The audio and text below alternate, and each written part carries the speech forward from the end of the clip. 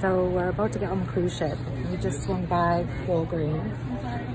Uh, this is the door here. It's obviously been smashed. And uh, every single thing that you see in the store is um, behind a plexiglass locked cabinet, even things that are like a dollar fifty. And these guys are coming in and we just saw some fella completely fill his backpack up with pan oh what's that Italian cake?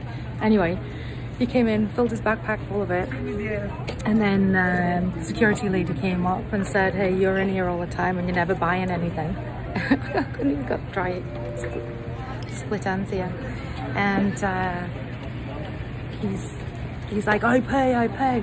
So anyway he fills up his bag. I've got a picture of him. I'll post it as well. And his backpack and then he goes and gets something else and he's like sticking shit in his pocket. Oh this fella's just run out too. He just robbed something running across the street there. Don't know if you can see him. Anyway there is security in here but they uh, they just can't do anything because you can steal up to $950 uh, in these stores and actually not get charged.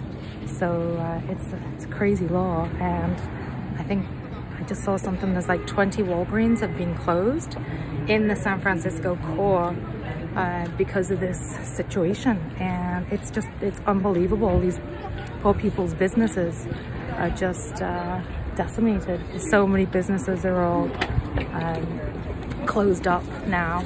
Uh, you can't even get into the buildings because there's, you know, tents in front of them. And, you know, it's like, there's police everywhere. There's a lot of police. We saw someone actually getting arrested yesterday, but they say they mostly just let them all go. The security people said there's nothing. Oh, this guy, he was just a crackhead. He was just uh, filling his pockets as well. And just walks out. And people, these guys, these security guys, I don't know what they're doing. But yeah, they can't do absolutely fanny all. It's unbelievable. It's, it's tragic. So yeah, San Francisco, so different from when I was here a lot of quite a few years ago.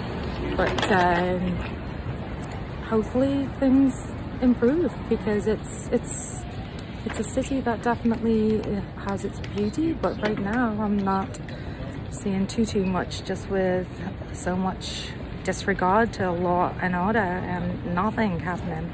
And these guys it's you know mental health issues that just aren't being addressed but they are literally ruling the city. It's like poo everywhere and everything. Like in front of the Rolex window, couldn't even look in that window yesterday because it smelled like wee. So uh, anyway, San Francisco, October, no, November 2022. I hope it changes.